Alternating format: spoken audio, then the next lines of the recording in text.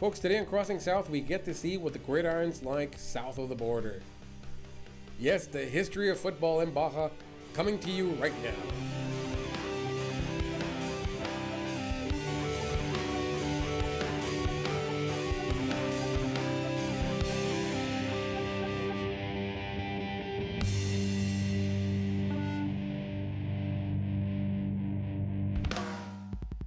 You know, folks, in Mexico, football is the name of the game. That's what people normally associate with this country.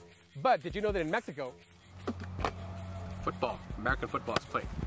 We're going to talk about right now the history of Mexico's uh, football experience and in Baja. So stay with us, folks. It's Crossing South. So we came across an American football player who plays for the Duo Sports Thundercats, a binational arena football team that plays with both Tijuana and San Diego as its hometowns. His name is Justin McKenzie, and football is his middle name.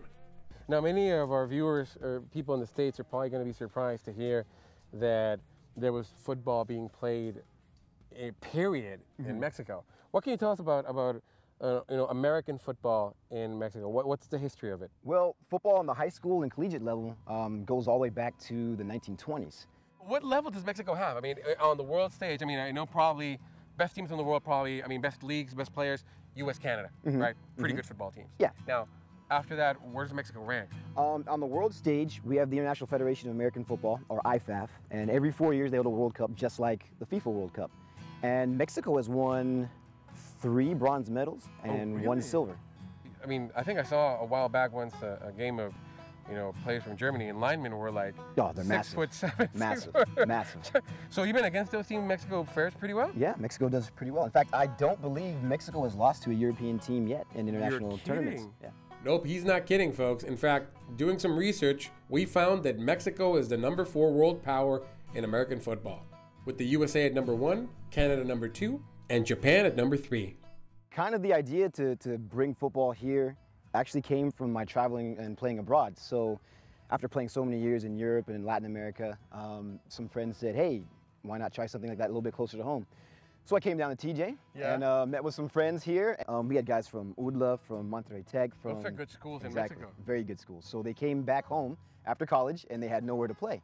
So they we had the gear, they had their pads. They had everything, but they had no league. So we started talking to them a little bit and we said, hey, let's set up an exhibition game out of Mexicali to kind of grow this thing. And grow it did. You see, Justin is what I would call a serial football developer. This guy's like a gypsy mercenary. He's played everywhere you can think of. Uh, start off in Italy, which was a wonderful experience. In fact, uh, John Grisham wrote a book about it called Playing for Pizza. You're kidding. Yeah, and so actually... Was I, it about that? Yeah, it was, it was, actually about a guy playing professional football in Italy and, and the differences between the cultures. I played three years in Germany, which I absolutely loved. It was a a very strong league, very well organized, very professional. Yeah, well, we have a league called the Super 8. Uh, it's called Super 8, or they call it Super Ocho, uh-huh. uh, because it's eight-man football uh, on okay. an arena field. So it's just like the arena football league you see on TV. You're probably familiar with the cliche, I'm not only the president, but also a client. Well, that's true with Justin. Check him out. That's him with the ball right there. Don't imagine Roger Goodell suiting up anytime soon. We've really grown from zero teams in 2010 to now we have five teams just in TJ. Five teams. Is there a website for that? Yeah, uh, Super 8 Football League, all one word, long. Uh, Super uh, 8 Football League in English. Yeah, dot info. In Baja, tell me a little bit about football in Baja. What exists here in Baja? Here in Baja, we have everything. Um, we have um, Pop Warner, we have JV, we have varsity, uh, there's college football. Now, teams in Baja, at least uh, at the high school varsity level, mm -hmm. have historically crossed borders to play CIF teams in San Diego. Mm-hmm.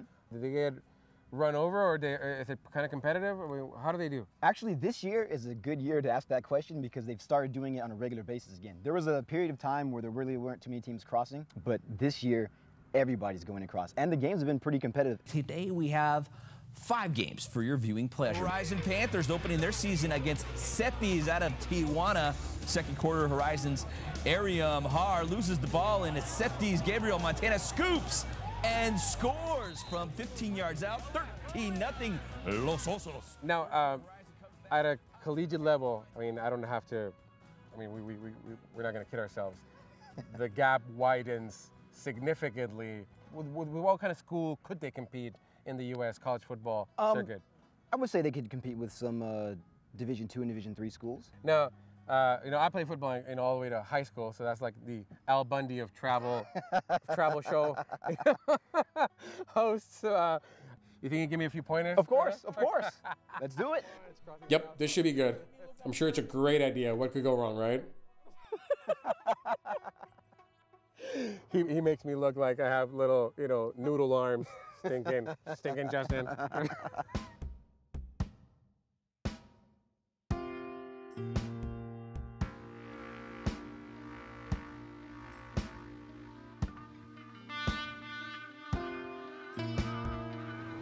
okay, Justin, what do you think? Well, you, you look like you're almost ready, but not quite. So first, before we do anything else, we gotta get you warmed up, have you catch the ball a little, run a few routes, and go from there. I'm all for it. This is training camp, folks. Crossing South training camp. Okay, so Justin set the standard by doing each exercise first. Yeah, good luck following that, but here we go.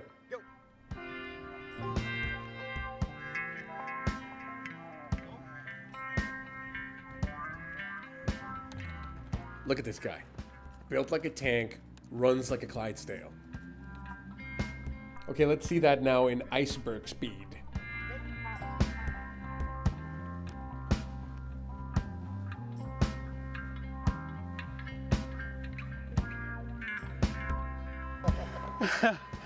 why am I so winded? Yeah, everyone who watches the show knows why. Not How you resisting the food down here? I don't, but I train double for it. I have to pay for it some way. See, that's the secret. That's what I don't want to do. Okay, so I'm putting the uh, I'm putting the jersey. Okay. You felt like a knight, you know? So we're gonna come up, get on the table, and right back to it.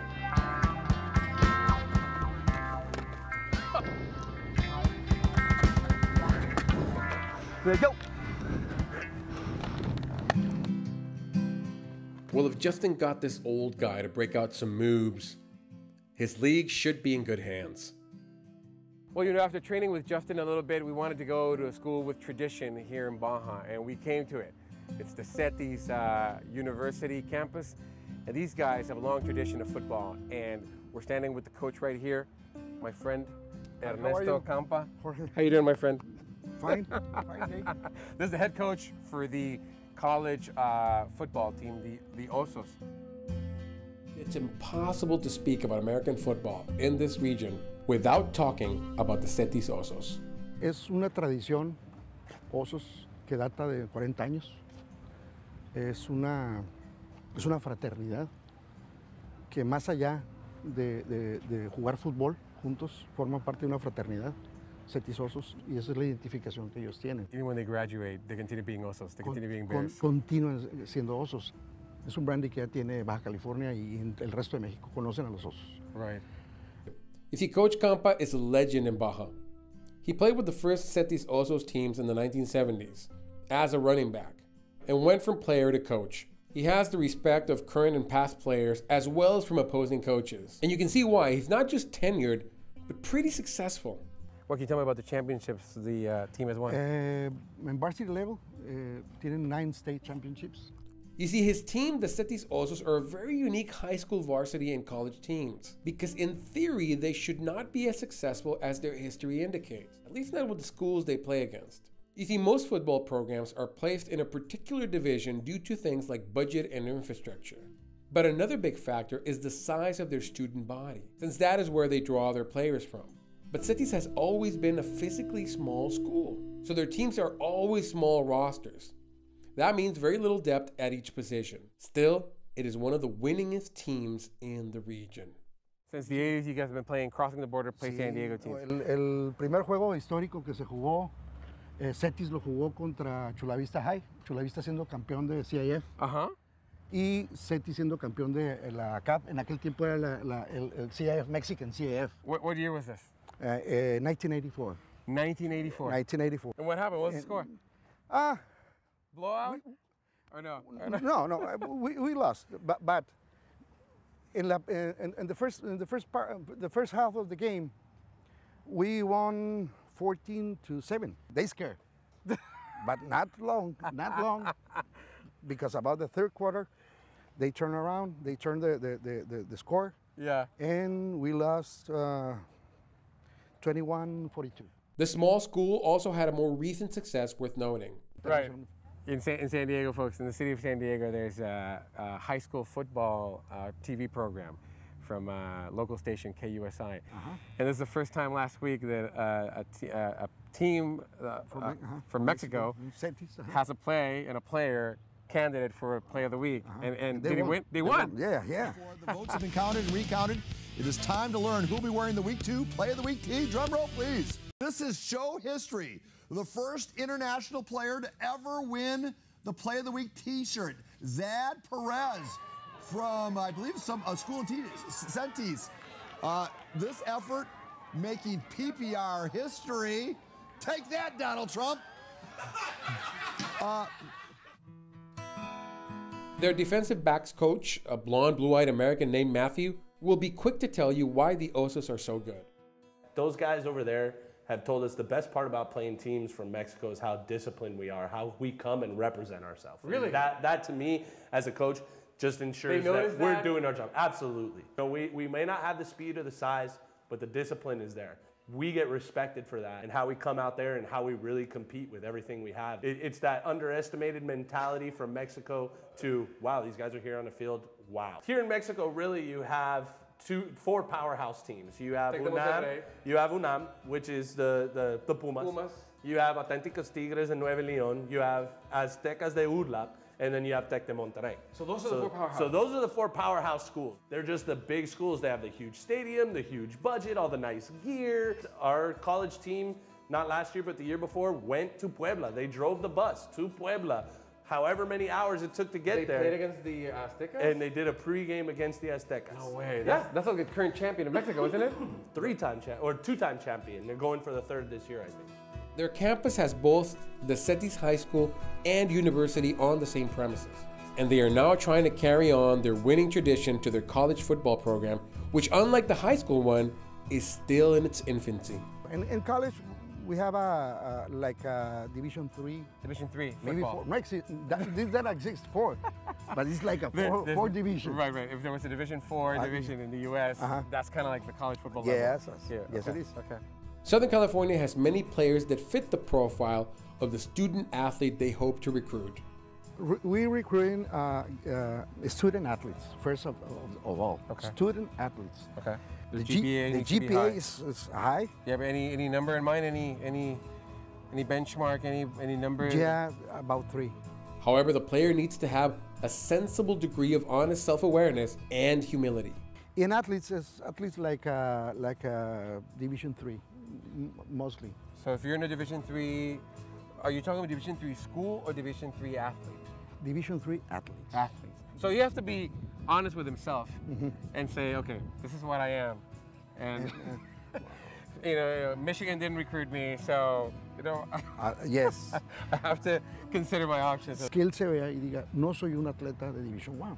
No pasa nada. Yeah, it's not the end of the world. First of all, puedo sacar un, un- un- un grado universitario si me dan un scholarship en México. CETIS tiene WASC, pertenece a una, una asociación que es WASC, que Ok. es todo el, el Western Association de, de- de universidades, y eso permite que un, un estudiante de Estados Unidos estudie en México y sea reconocido a su escuela. So if you want to be, re- if your, if you want your degree to be recognized in the U.S., this is the place to be. That's right. That's important. That's uh, that would be important for for a student. Yeah, definitely. It's been a long time since I put on the pads. Are you gonna let me work out a little bit with your team? Yeah. you start? You ready? You ready? I'm not ready, but I'll give it a best, my best shot. Okay. It's Crossing South, folks.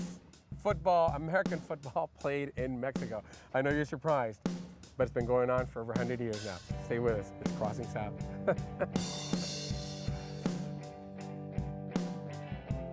So if I was going to train with these guys, I needed to go through the whole routine. That meant full access to staff and locker. Look at the size of these Osos, folks. I'm like 5'11", so that means this guy's like 6 what? 6'4". and like 3 what? no, just kidding. these boys are corn fed, I'm telling you. no joke, that kid was close to 400 pounds.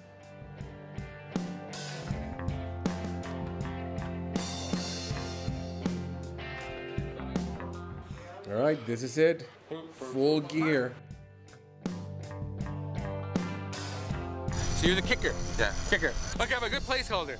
Yeah. Oh my cow, we did it. Yeah. but will I be able to kick? Check out the soccer shoes right there. This should be good. Okay, more like pathetic. Un poquito más abajo la pelota. Okay, so so dig it a little bit more. It was pretty bad. It was pretty bad. Just give me one more shot. Yeah, so you come here and boom. I'll try.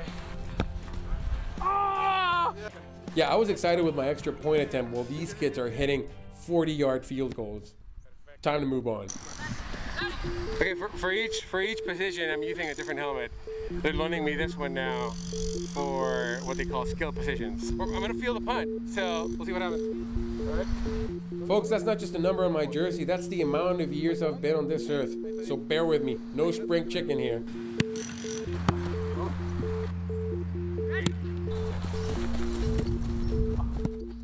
Okay, this is not looking good. Oh. Nope. No. Yep, this is starting to worry me. Oh dear. No. No. Okay, somebody please put me out of my misery. You know, I'm able to do this when I play around with friends, say at a park or anything. But you do forget how to do things in full gear. But I'm no quitter, folks.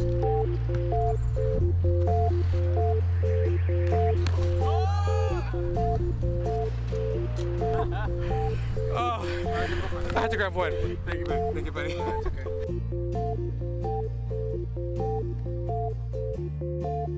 Okay, so now I got some personal attention from Coach Campa himself. You see, I thought I knew how to throw a tight spiral. Coach thought I could improve my mechanics, though. Yeah, there's a reason to why he was buttering me up.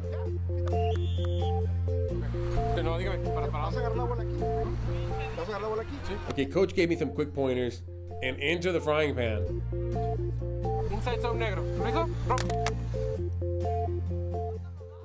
Mind you, I have never played quarterback in my life. Okay, so he got me started off with some handoffs just to get the feel.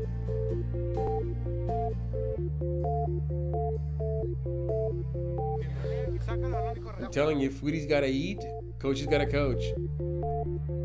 He had my full attention very quickly, and I knew exactly what he expected me to do. Inside zone, al cinco. Okay, listo, rompe.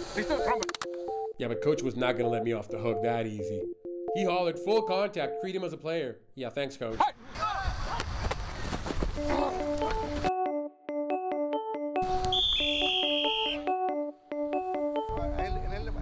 Okay, so the coach sent a read option, which implies me running with the ball.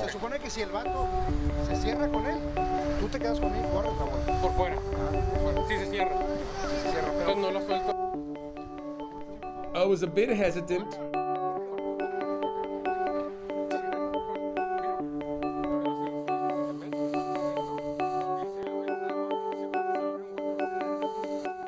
Guys in the huddle gave me some pointers.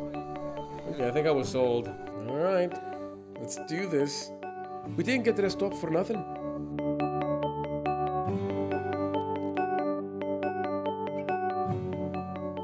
Okay, some last moment checking, making sure the offense is in place.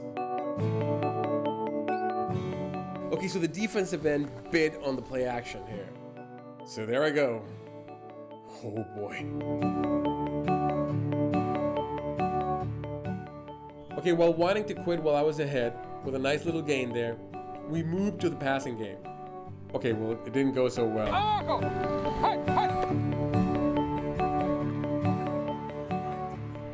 Okay, this is the first try. Almost picked off.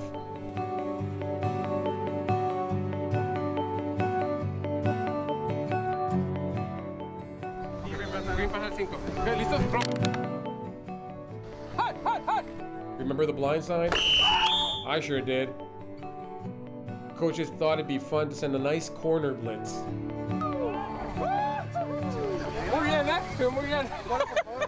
Yeah, good one, coach. Good one. So the coach kept sending in passing plays. I guess he wanted me to see if I could stay and throw from the pocket.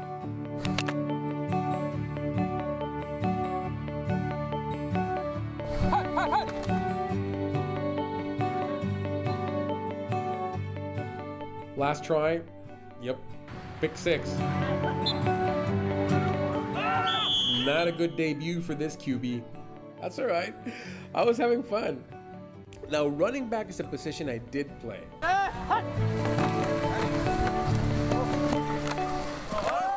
Of course, I was faster, younger, leaner.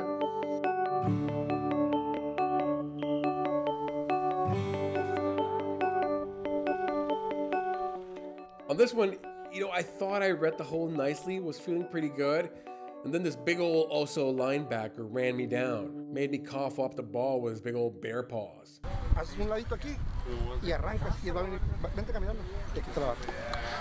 But like I said before, folks, I ain't no quitter. Haz un pasito a la derecha, que no estorbes. Coach sent a nice running play straight up the gut.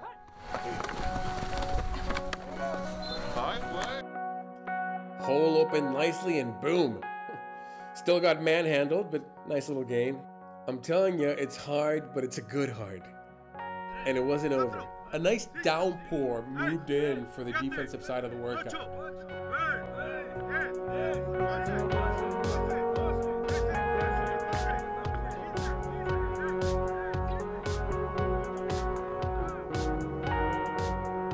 It was time to earn my stripes with the Oso D.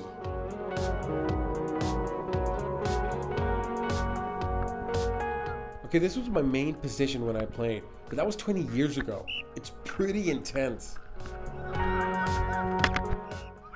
These boys go all in. Look at this. Yeah, get down there. And stay down. Okay, my turn. Oh boy.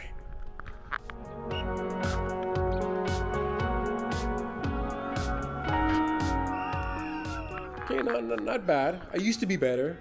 But then again, weren't we all? Guys took me in though. Got pointers, high fives when due. Okay, the old swim move still works.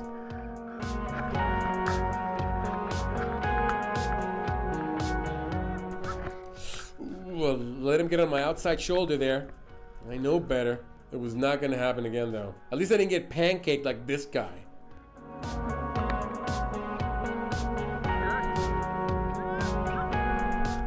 Well, this old wolf still has some tricks he remembers.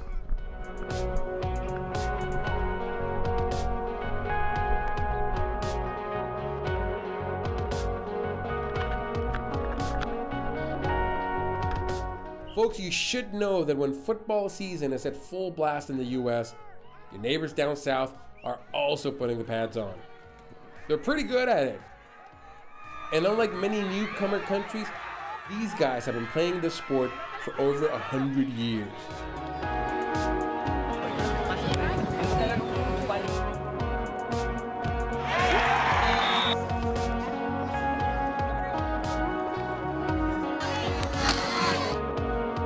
You know, getting to know Americans just like Justin and Matthew that are making their life in Baja and sharing what they know with the region about the game visiting a traditional powerhouse as the Osos.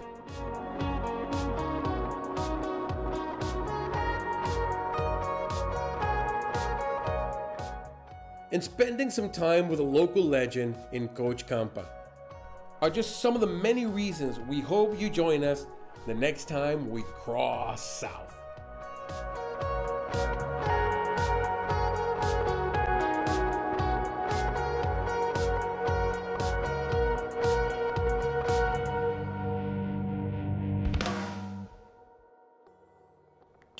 Want your brand to be seen by a great audience? Send us an email to sponsor at centurion5.com. You can find us on Facebook, Instagram, and YouTube for videos and maps of the places that we've visited. You can go to crossingsouth.com.